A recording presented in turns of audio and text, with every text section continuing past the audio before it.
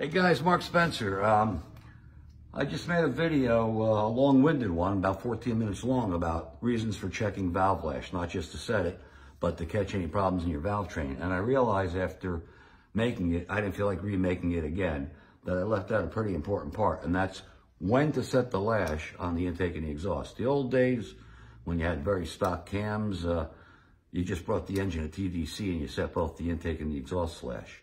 No, no, no. Not anymore, guys. Um, not for a long time. Any performance cams which have a lot of overlap, you can't use the TDC method. You have to use the exhaust opening intake closing method, EOIC. And I'm going to demonstrate it on this cylinder right here, okay? I've got a breaker bar on my motor, plugs are out, okay? Intake, I mean, sorry, exhaust valve, okay? Exhaust, when it's just starting to open, you go to the intake valve, okay? Which on my particular setup here is 22 thousandths. You go in and you check it. It should be a nice, just a nice little fit, okay? Not too tight, not too loose. Everybody has their own preference. Doesn't matter if you set it on the really snug side or the somewhat looser side. Just make it consistent, okay? So, exhaust valve is just starting to open. You do the intake, okay?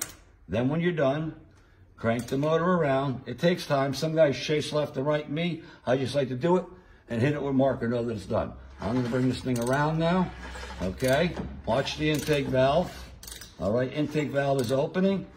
Remember, exhaust opening, intake closing. As the intake is closing, then you go to the exhaust, which happens to be on my setup, 24. So I got 24 here, and there we go, in, just like I said, it's not very tight. It's just enough, snug, okay? Where I couldn't get a 25 thou in and a 23 would be too loose, okay? It's just my feel. It feels a little tight right here because I'm trying to get on the lash cap, but if you look, here I'm moving with my fingers, it's not that tight, okay? So remember, exhaust opening, just starting to open, do the intake on that cylinder. As the intake is starting to close, almost close, do the exhaust. That way, you do away with any issues with overlap. If you do it with the TDC method, I promise you, you're gonna have a valve train that's clickety, clackety, clickety, clackety, not, not a rhythm.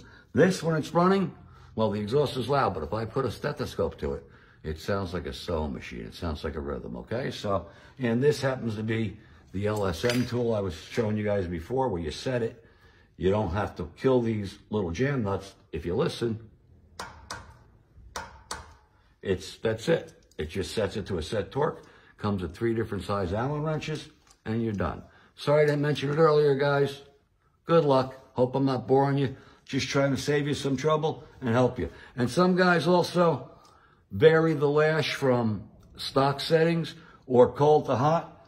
My hot setting happens to be 24, 26 which I did check it hot. I don't like working on a hot engine, but it turns out that it's 22, 24 cold. So that's what I set it at. Um, and don't be tempted to play around with valve lash uh, to look for power. It's not there. And if it is, if you tighten up your valve lash, say by five, eight thousandths, and you pick up power, which you're not going to see on the street, by the way, not even to see it at the track. But if you pick up power on the dyno, or if you loosen it up and you pick up power, and I'm talking about like 10 horsepower, something like that, you have the wrong cam for your engine, but don't really vary from what the manufacturers uh, tell you. And also, that cold setting I was telling you about that I have, this is cast iron heads, cast iron block, and cast iron Hemi heads, okay?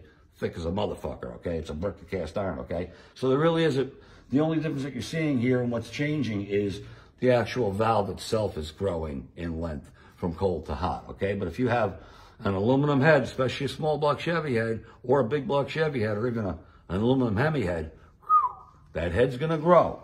And when the head grows, it pulls the valve away from the rocker and you wind up with more. So you need to be uh, aware of that, whether you got an iron block iron heads or iron block aluminum heads or aluminum block aluminum heads. They will all be different settings, okay? Get yourself in the ballpark when you first build the engine. Go through the trouble of getting to operating temperature. Take it apart, burn your fingers. Check the lash at operating temperature and then you'll know what to compensate to set it at cold pressure.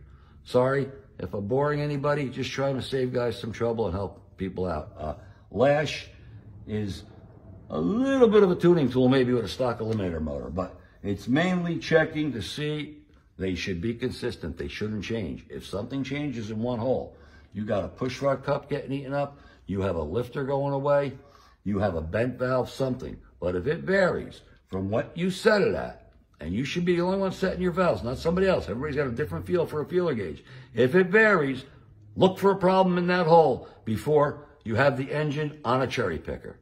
Mark Spencer, Spencer Speed Shop. Peace, love, drugs, cosmic debris. God bless all of you. Goodbye. I'm not making the video over if I stutter. I'm a one-take motherfucker. Okay, goodbye.